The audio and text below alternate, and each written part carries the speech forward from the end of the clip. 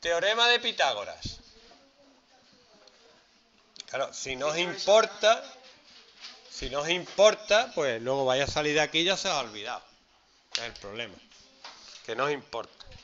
Pero bueno, ya os importará y ya os arrepentiréis.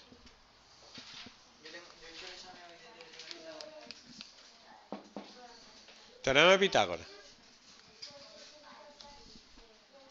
Sea un triángulo rectángulo. Sea el lado más largo que se llama hipotenusa.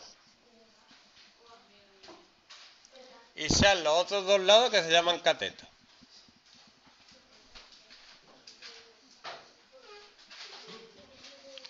¿Vale? A la hipotenusa le voy a llamar A y a los catetos le voy a llamar B y C. ¿Aquí le han explicado Pitágoras? ¿Nadie? Bueno, pues Pitágoras descubrió que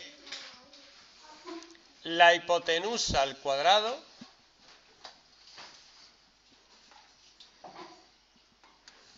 es igual a la suma de los cuadrados de los catetos.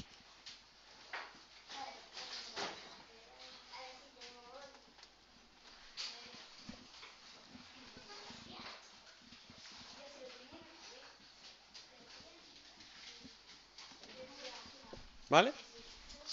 O esta que es más natural es la que se usa. Venga, vamos a la iglesia.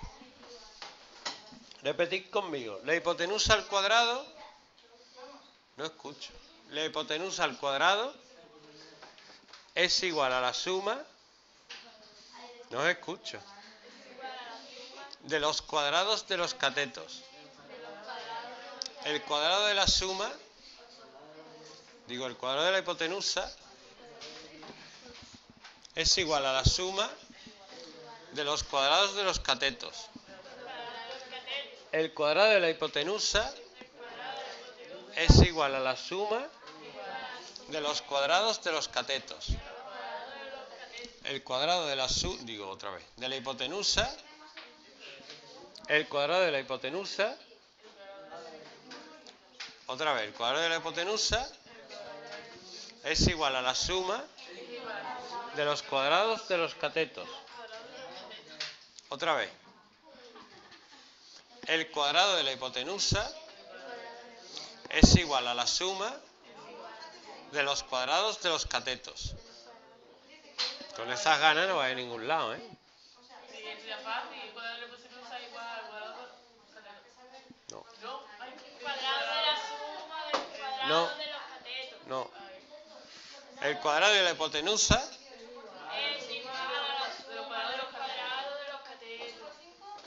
Dilo. Dilo. Otra vez. El cuadrado de la, de la hipotenusa es igual a la suma de los cuadrados de los catetos. Ahora tú solo. El cuadrado de la hipotenusa es igual a la suma de los cuadrados de los catetos. Ahora tú. ¿Por qué os reí? ¿Por qué os reí cuando alguien no sabe hacer algo? Otra vez. El cuadrado de la hipotenusa. El, el cuadrado de la hipotenusa es igual a la suma de los cuadrados de los catetos. Si os dan este triángulo y os dicen que esto mide 4 y que esto mide 3, ¿cómo calcular la hipotenusa? Yo no sé lo que mide. Yo uso la fórmula. Esto mide 3 y esto mide 4. ¿Cuánto es 3 al cuadrado?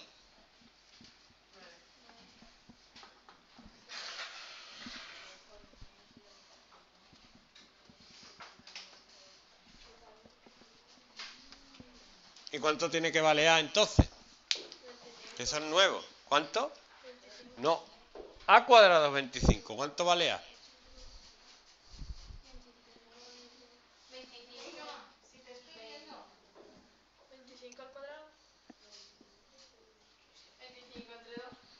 ¿Qué número al cuadrado da 25?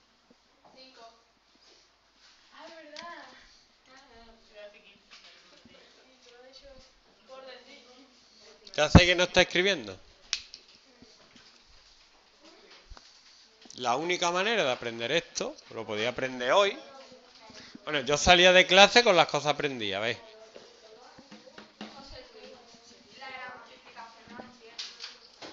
2 por x, 2x, menos 2 por 5, 10.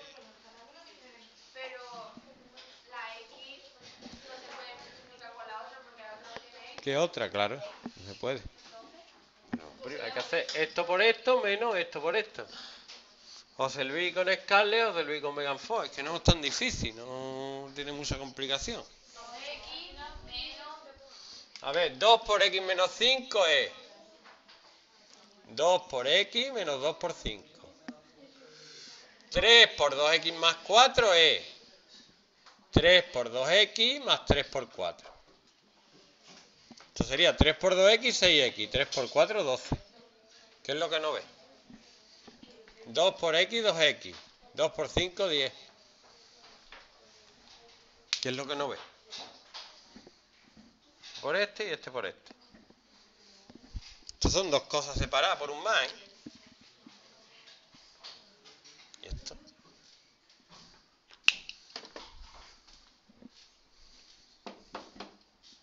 Me da igual ya los números que me pongan. ¿Vale?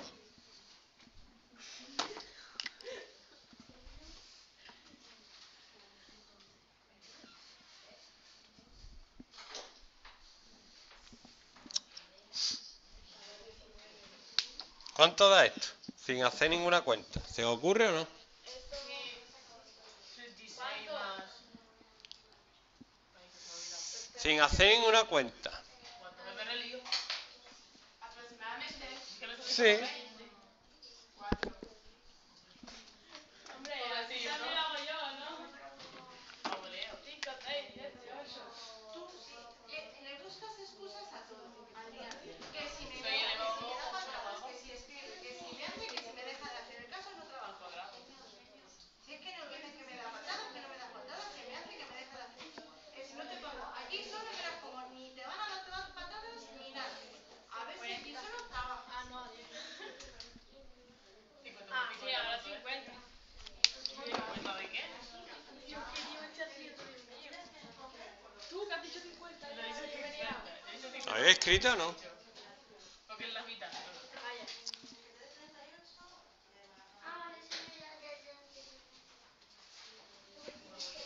Ya os digo, esto lo vais a tener que aprender o este año, o el que viene, o dentro de tres, ya cuando ustedes queráis.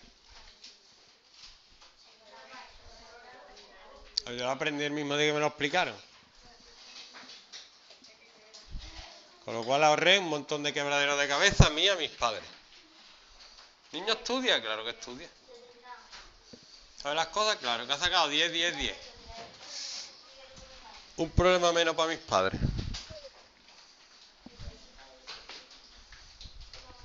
Una persona puede ser un problema o una solución, eso ya lo decide cada uno. Yo que quiero ser un problema o una solución.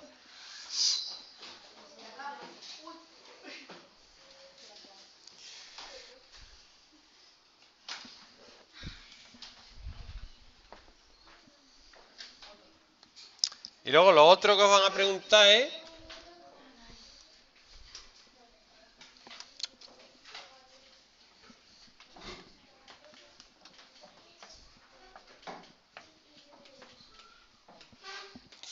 si sabéis un cateto, digo la hipotenusa de otro cateto, que saquéis un cateto. Entonces, para esto hay dos fórmulas. Un cateto es la hipotenusa al cuadrado menos el otro cateto al cuadrado. La raíz cuadrada. ¿Qué pasa? No tiene nada. Si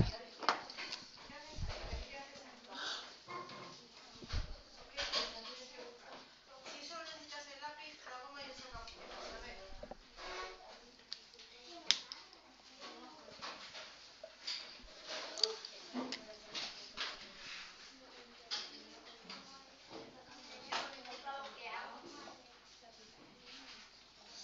Obviamente tenía que dar 3, ¿sí o no?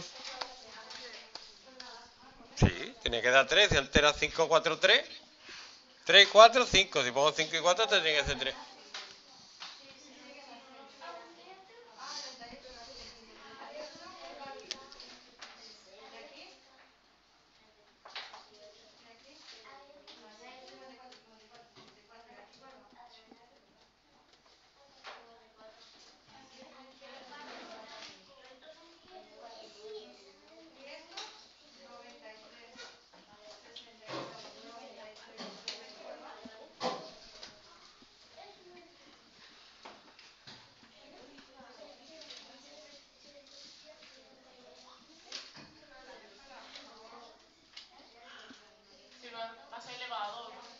Sí.